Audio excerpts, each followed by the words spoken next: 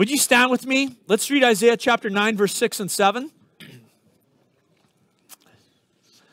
it says this For to us a child is born, to us a son is given, and the government shall be upon his shoulder, and his name shall be called Wonderful Counselor, Mighty God, Everlasting Father, Prince of Peace. Of the increase of his government and of his of peace there will be no end. On the throne of David and over his kingdom to establish it and to uphold it with justice and with righteousness from this time forth and forevermore. The zeal of the Lord of hosts will do this. Lord, this morning as we spend some time with you in your word, we pray that the written word would lead us to Jesus Christ, the living word, and we pray that Christ would be magnified. We pray, Jesus, like John the Baptist said, that we would become less and you'd become more. That your word would do that work in our hearts. And so, Lord, we're looking unto you this morning, and we pray that you would speak to us in Jesus' name. Amen. You may be seated. Been thinking on this that verse uh, 6 says this for, for to us a child is born, to us a son is given. To us a son is given, or, you know, the King James says, unto us a son is given. And these are the words of Isaiah. He wrote them uh, 700 years before the birth of Christ. And if you've spent, as you know, if you've spent much time in your life around church during the Christmas season or grown up in church, these are words that you're probably very familiar with. Probably familiar with to the point that you read it and there's not much amazement in your heart, or maybe not much consternation in your heart. But this is actually a very amazing prophecy. To say, unto us a son is given. Unto us. That's first person plural pronoun that the prophet uses to refer to himself and to other people. A son is going to be given to us. We will be the object recipients of a child, which is kind of strange when you think about it in this kind of collective sense. When a son is born, that is not how you speak of a child's birth. That's not how you speak about a son's uh, birth. We say, oh, so and so, you know, I was trying to think of the latest family to have a, a boy in this church. I guess it's Mike and Sarah. You know, and a son was born to them. We say so and so gave birth to a son, and we recognize the biological mother and father, and we don't speak of a son's birth as belonging to a collective whole. To us, a child is born. But that's what Isaiah prophesied. A son, he says, given to us. Unto us a son is given, and it makes me wonder what kind of son this would be that he would be given for all. The Hebrew word given is the is the it's the name. We use it as a name, Nathan. It means given provided, granted unto you. A son is provided for you. And so it makes me ask this question what was given to us a, a, son? And the most logical question that you would ask if someone is giving you a son is to say, whose son is it? Well, whose son is it? I mean, if this son is being given to me, whose son is it? You know, determining the identity of a father, a birth father, the, the progenitor, is very important to the identity of a child, isn't it? Like if we went around the room and we took the time this morning and I said, Who is your father? Every one of you could answer. In fact, culturally, we have u- words that we use for illegitimate children derogatory, unpleasant words that identify the progenitor is not known or is in question. The identity of the biological father is unknown. You know what I'm talking about. It rhymes with dastard, okay? not going to say it. Legitimacy is attached to the identity of the father. It's why every character in the Old Testament, their name is attached to their fathers. David, son of Jesse. Joshua, the son of Nun, Jeremiah, the son of Hilkiah. And so it's natural that if the Word of God tells us, Unto us a son is given, we would say, Whose son is he? Whose son is he? Whose son is he that he would be given for us? You know, the Bible tells a story in the book of Kings illustrating the wisdom of Solomon. It's a great story. I love it, and you probably know it. Two women were brought to him, and they were in a conflict, and no one had been able to help them navigate this conflict. In fact, these two women were prostitutes, the scripture tells us, and they were arguing about a son. They were arguing about the identity of a son, and both claimed that the child was theirs. And as Solomon investigated, he came to understand that both of these women had given birth to sons, but in the night, one of them had rolled over on her new baby and he had died. So she took the dead child and she laid it beside the woman who had a living child, and she took the living child and laid it beside herself, swapping the one child with another while this mother slept. And now she had a living son, and the other woman had a dead son a dead child laying beside her. And so when the woman awoke and there was a dead baby beside her, upon closer inspection, the Word of God tells us that she realized this isn't my child, this is the child that belongs to the other woman. And she's taken my child, but there were no witnesses. It was one woman's word against another. So Solomon said this famously Bring me a sword, I'll cut the child in two. And the woman who was not the mother said, Great idea. I won't have a child and you won't have a child. Everything will be even. But the biological mother said, No, don't cut the child in half. Give the child to her and let the boy live. And Solomon wisely discerned, determined that the woman who wanted the boy to live was the mother's child, was the mother of the child. See, knowing the identity, the biological identity of parents matters. You know, sometimes we question it in our culture. I think about old Prince Harry there. All the rumors around Prince Harry because he seems to look awfully a lot alike that British captain that his mother was hanging out with for a little while. Or how about our very dear own prime minister? Because put his profile picture beside, uh, you know, a Cuban dictator named Fidel and it's just kind of natural to ask, who is his father? Isaiah said this Unto us a son is given, but whose son is he? That's the question. Jesus asked the Pharisees about this. He said, Let me ask you a question. Whose son is the Christ? Whose son is he? And they said this they said, He's the son of David. And Jesus said to them, David called him Lord. If David calls him Lord, how can he be his son?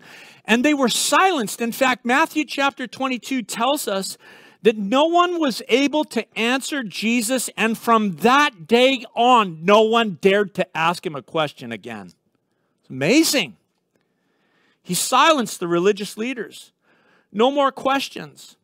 And so the identity of this son whom Isaiah prophesied would be given is very important. So the question is this whose son is he? Well, firstly, the Word of God tells us he is the Son of God.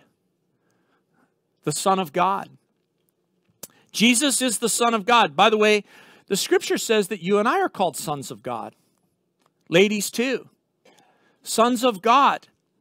But this designation given to Jesus is different. It's a uniquely divine title given to him that expresses his deity. There is a distinction between him as the Son of God and you and I as sons of God.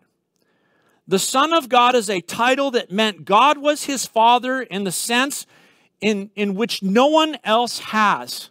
He and the Father have a relationship that no other has. And Jesus is called the only begotten Son. You know, Islam teaches that God has no begotten. Did you know that? I should have put a picture of this up, but the shrine called the Dome of the Rock that sits on the Temple Mount, you know that golden dome that sits up there on the Temple Mount? all around it in the whatever Arabic script it is that goes around the outside of that building, it just repeats and it says, God has no begotten. God has no begotten. God has no begotten. It's a blasphemous edifice on the Temple Mount to the Lord. And the hang up around the word begotten has to do with progeny. The Muslim would ask this How can God have a son? Saying God has a son implies that God participated in some sort of procreative act to bring about the birth of a son. But that's not what the Word of God is teaching. When Jesus is called the only begotten, it does not reference human generation of Christ or some procreative act of God. Rather, it speaks of his unique relationship as the Son. He has a distinct personality in comparison to his Father. He is co eternal with his Father, co equal with his Father. The Father speaks about this in the book of Hebrews in chapter 1. The Father tells us of his Son. It'll be on the screen. Your throne, O God, is forever and ever. The scepter of uprightness is the scepter of your kingdom. You have loved righteousness and hated wickedness. Therefore, God, your God, has anointed you with the oil of gladness beyond your companions. Jesus did not become the Son of God. He was not procreated and created to be the Son of God. He became, uh, he was the Son of God inherently in eternity past. And Jesus taught the uniqueness of sonship when he called God his Father. As you know in the gospel accounts, it blew the minds of the religious leaders. For them, it was blasphemous. And you know, Jesus never actually said, Our Father except in one circumstance when he was teaching his disciples to pray. That's the only time he ever said, Our Father. Rather, what we see in Scripture is he referred to God as my Father. Like in the telling of the parable of the lost sheep, Jesus warned. Matthew chapter 18, verse 10. See that you do not spy, despise one of these little ones, for I tell you that in heaven their angels see the face of my Father who is in heaven. Encouraging people to pray in Matthew 18, he said this Again, I say to you, if two of you agree on earth about anything they ask, it will be done for them by my Father in heaven. Instructing those who listen to him to be uh, practicing forgiveness with one another in the midst of conflict. Jesus said this in Matthew 18 35. So also my heavenly Father will do to every one of you if you do not forgive your brother from your heart. All of these discussions that Jesus had were between himself and his disciples, not the crowds. I mean, this is the inner crew that was hanging with Jesus, and he didn't say our Father, he said my Father in heaven. He did not include them in his unique relationship with the Father as the Son of God. When others came to the place where they would acknowledge his identity, acknowledge his deity, they applied the Son of God to him. Even the devil did this. When Jesus was being tempted in Matthew 4, he said, If you are the Son of God, turn these stones into bread. The demons in Matthew 8, before Jesus gave them permission to enter the swine, they said this What do you have to do with us, O Son of God? When Nathanael was told by Jesus that Jesus had seen him uh, before they met sitting under the tree, Nathanael confessed and he said, Rabbi, you are the Son of God, the King of Israel. So every claim to be the Son of God, every confession that Jesus was the Son of God, shows the eternal relationship that he had with his Father, between Father and Son. So whose Son is he? Well, firstly, he's the Son of God, uniquely the Son of God. There was never a time in his relationship with the Father that there was a beginning. He was the eternal Son of God. Secondly, he was the son of Mary, the scripture tells us. The son of Mary. When Jesus came to Nazareth and he taught there in the synagogue when his ministry had begun, many of those who heard him and had watched him grow up and known him since he was a little boy were astonished. They said, Where did this man get these things? How was this wisdom given to him? How are his hands doing such mighty works? Is this not the carpenter, the son of Mary? They said. That's an entirely justifiable question when they heard him teach and saw what he did. They'd watched Jesus mature from childhood to manhood. Nazareth was a small, small village. Probably many of them had items in their house that he had built. The son of Mary. In his humanity, he was as much a son of Mary as he was in his deity, the Son of God. Son of God, of course, expresses his deity. Son of Mary expresses his humanity. Very God of very God and very man of very man. A combination of divine and the human that's mysterious but necessary so that he could redeem us from sin's power and consequence. Jesus needed to be God so that he would have the power and effectiveness in his death to defeat sin. And Jesus needed to be man. He needed to be flesh and blood to share in our humanity in order to offer himself as a sacrifice for our sins. And so that title, Son of Mary, is very important to his humanity. Remember the, the story from Luke chapter 1 that the angel appeared to Mary and said, eh, You will conceive in your womb, and you will bear a son, and you shall call his name Jesus. And she said, How can this be? I'm a virgin. I know where babies come from.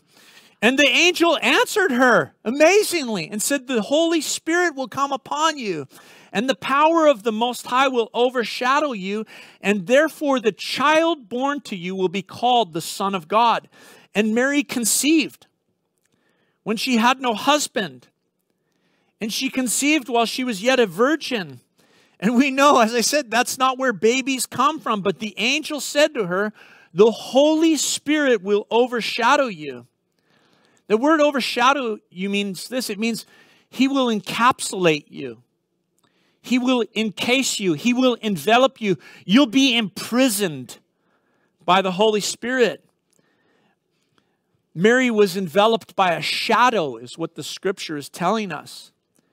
And the purpose was not simply so that she would conceive. This is very important, church. The purpose was not simply so that she could see, could, would conceive. The power of the Holy Spirit overshadowed her womb also so that the child would receive Mary's humanity, but not her sinful nature.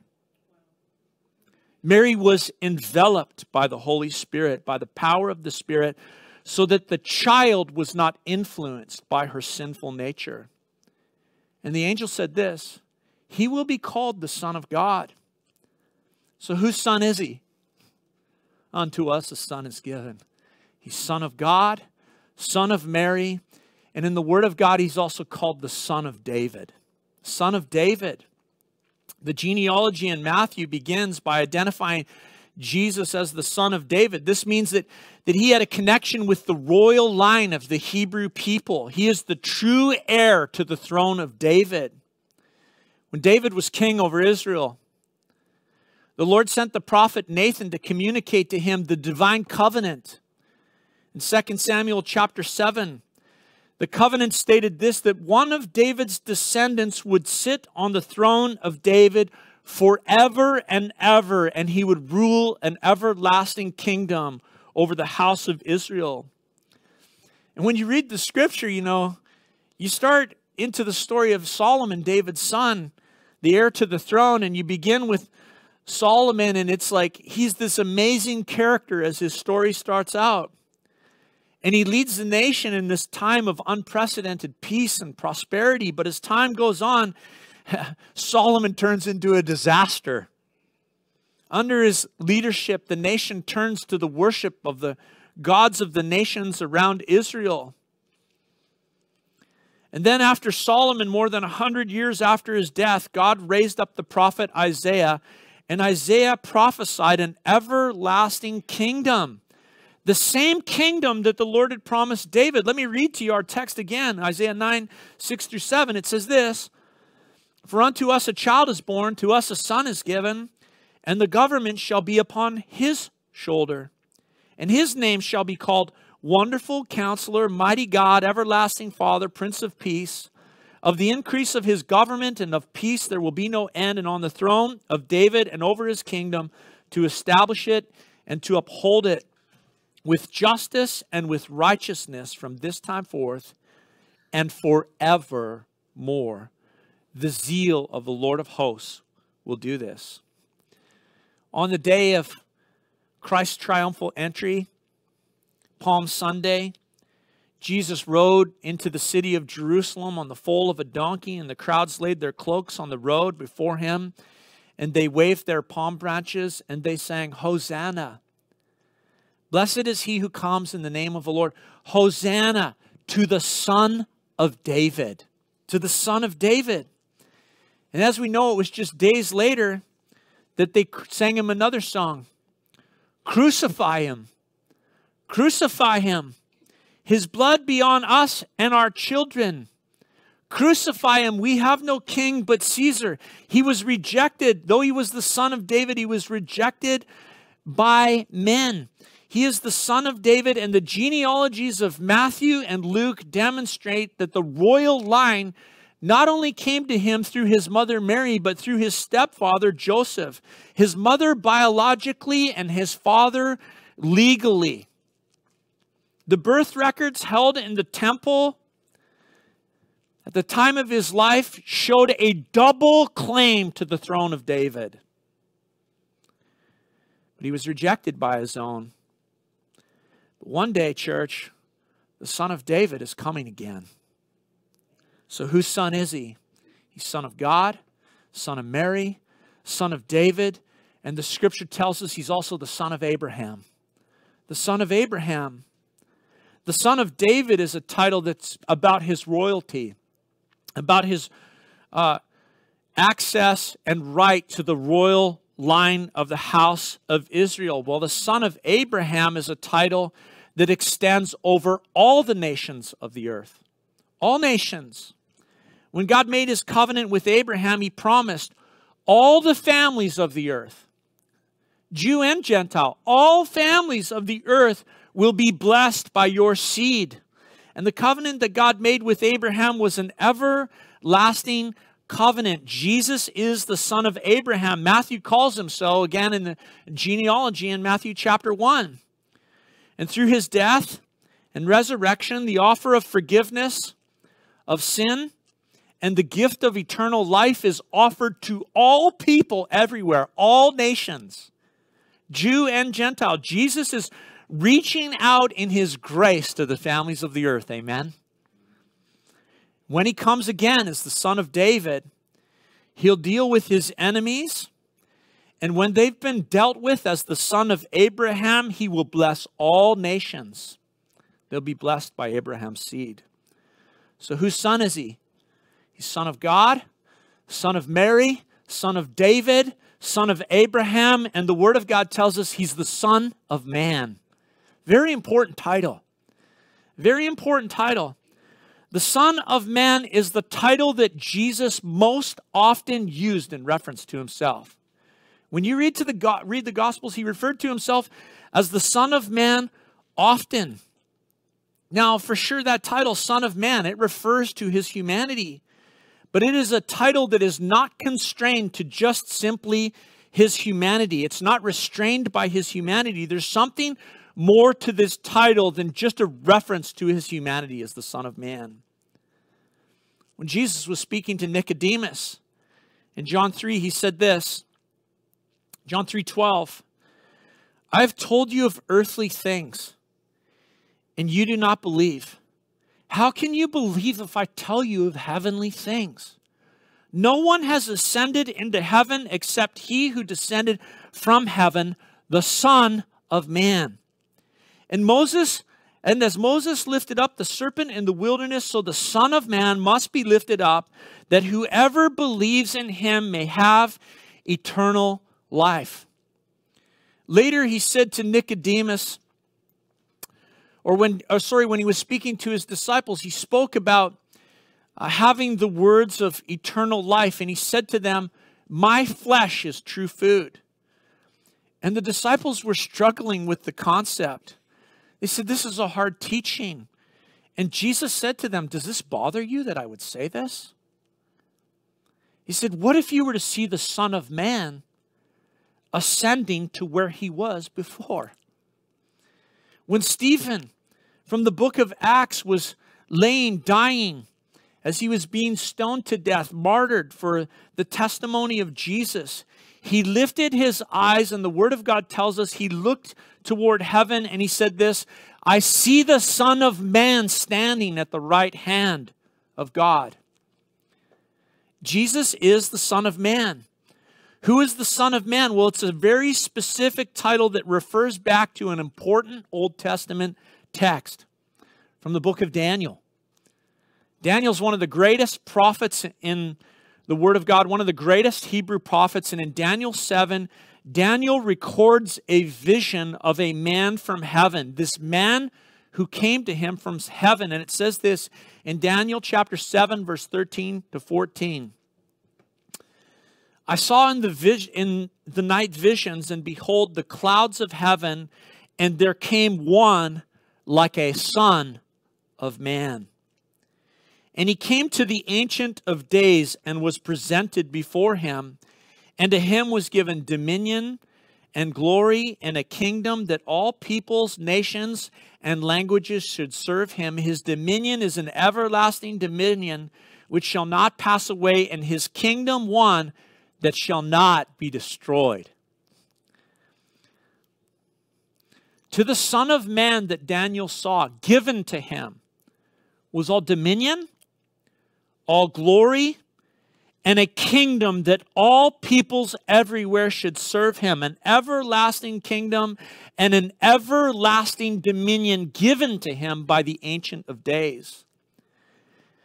Is amazing because Daniel saw the Son of Man was in heaven before his human birth. For it was he who descended out of heaven and ascended to heaven after his resurrection. So Robert Anderson said this, be on the screen. It was not his human birth that constituted him the Son of Man. That birth indeed was the fulfillment of the promise which the name implied. But the Son of Man, he declared explicitly, descended out of heaven. Jesus was the Son of Man before his incarnation. That's what the Word of God is telling us. Jesus was the Son of Man before the virgin birth. And the virgin birth and his incarnation was merely part of the program. It was a stage in God's salvation story.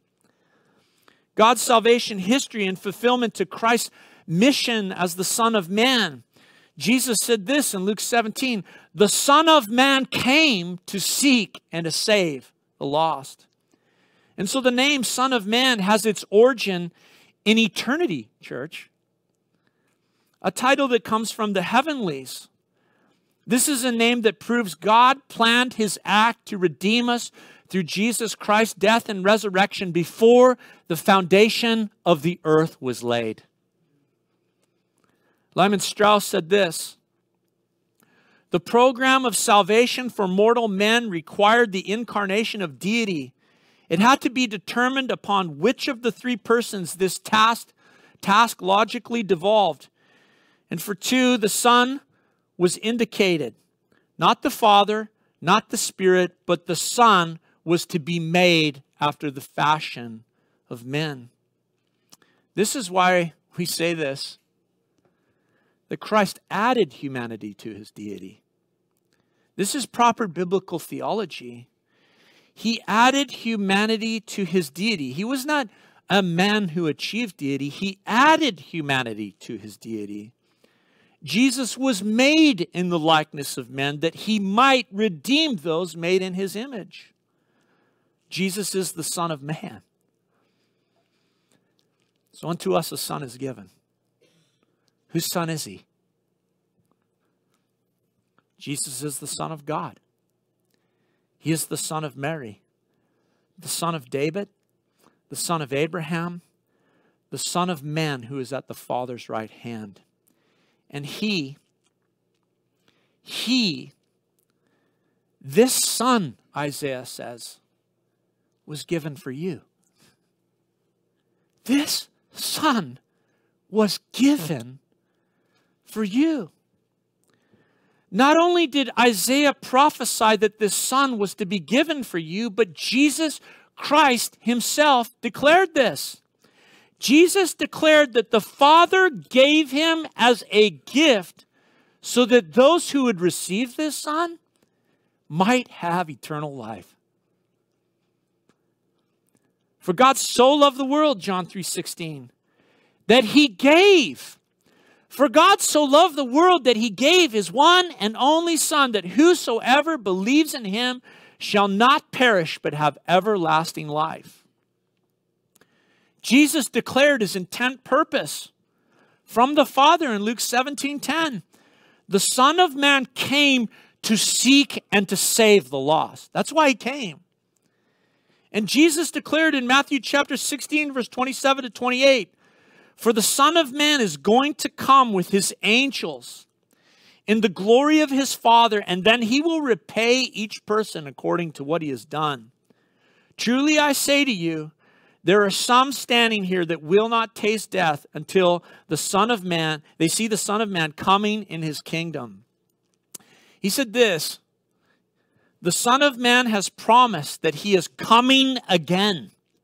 He promised that.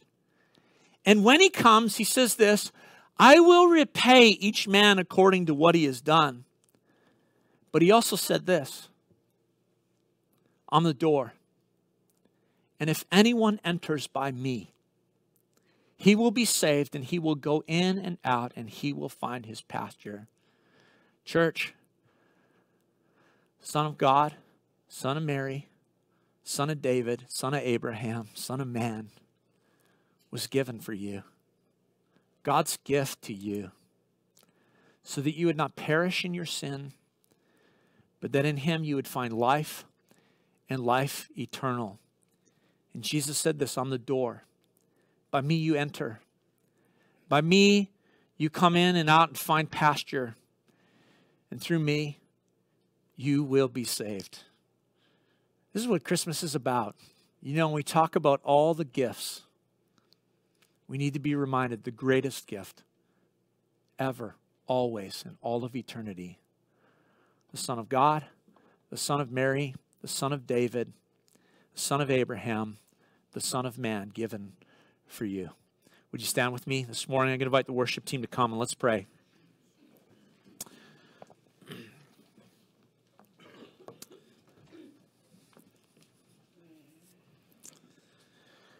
Lord Jesus, this morning as we consider your word, we just want to thank you. We want to thank our Father in heaven. Thank you, Jesus, that you're God's gift, God's Son given for us. Unto us a Son is given. And Jesus, this morning, as your word instructs us to do, we, we open our hearts to receive you. And your word says that we do that by believing in your death and resurrection and confessing with our mouths that you are Lord. And so, Lord, as we search our own hearts right now, I pray, God, that you and your grace and by your Spirit would just bring faith. Faith with regards to the death and resurrection of Jesus, crucified for our sins to be forgiven and raised from the dead so that we might have life. Lord, this morning before you in our hearts, we believe in your death and resurrection. And with our mouths this morning, we confess Jesus Christ, your Lord. Your Lord. And we invite you to come and rule over our hearts and rule over our lives. We know that you, the Son of Man, have been given all dominion and authority and all kingdoms and all peoples. And Jesus, this morning, just in a posture of humility before you, we bow the knee of our hearts and we confess that you're Lord. And we invite you to rule over us, rule over our lives, over our families, over our church, over our community, and over our nation. You're King of Kings and Lord of Lords. And Father, we thank you this morning for your grace and your goodness. That in all of eternity you planned that you'd give your Son for us.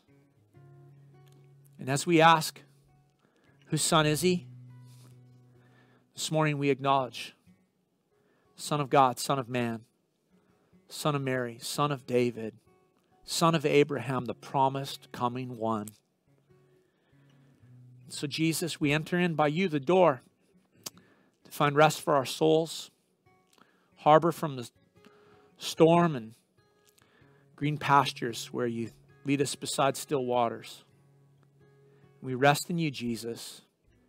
We thank you, Lord, that we don't have to strive for salvation, but we enter in by faith. And we thank you for your grace to us this morning. In Jesus' name, amen.